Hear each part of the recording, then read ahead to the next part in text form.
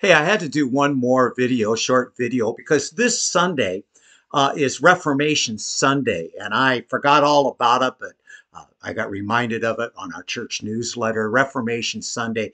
And and I we think of Reformation Sunday, we think of Martin Luther and and the Protestant Reformation and his tacking up the 95 thesis on the Wittenberg door, you know.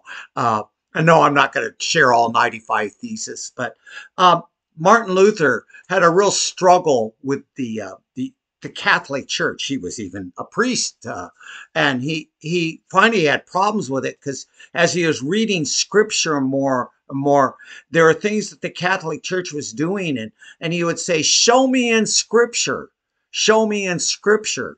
Um, indulgences and the whole gamut. Show me in Scripture, and I think of Reformation and Reformation theology, and it wasn't just Martin Luther, it was Calvin and all this. Very scripture based, show me in scripture. Well, this Sunday, take a look, explore who Martin Luther is, not not Martin Luther King Jr., but Martin Luther, the, the, the Reformation Sunday.